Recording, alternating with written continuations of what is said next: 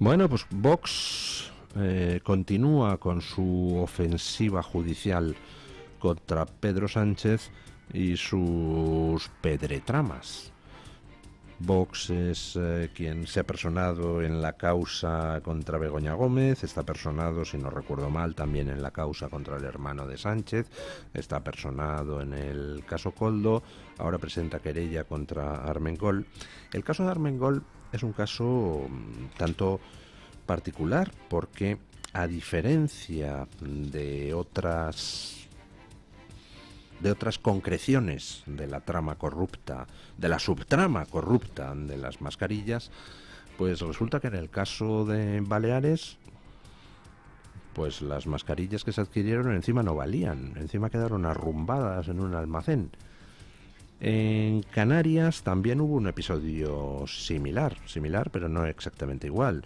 Se compraron unas mascarillas que al final ni llegaron eh, o sea, no es que no sirvieran, es que no aparecieron las mascarillas en cuestión, pero creo recordar que esa compra de mascarillas fue a otra empresa distinta de la que aparece en la trama Coldo Ábalos Sánchez. No sé, ya me pierdo con tantas eh, mm, operaciones eh, de mm, rapiña de los fondos públicos al calor de la pandemia.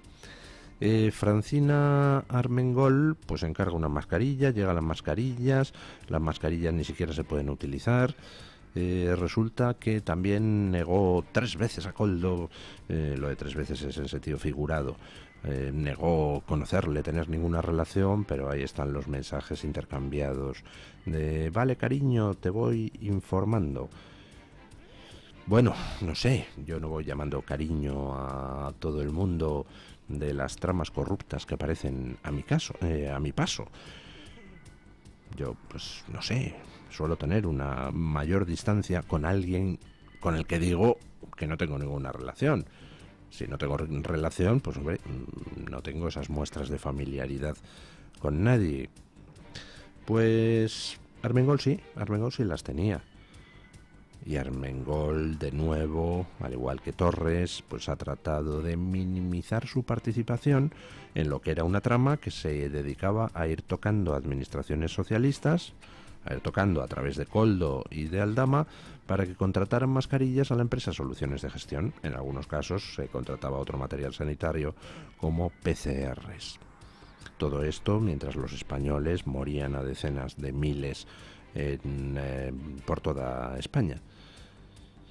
Bueno, pues otra como Ángel Víctor Torres, a la que se le está empezando a poner cara de imputada. Vox va a presentar la querella contra esta mujer y yo me supongo que el juez pues no tendrá más remedio que declararla investigada. A Ábalos ya se le puso hace mucho la cara de imputable y probablemente asistamos a la petición de suplicatorio de un momento a otro al Supremo.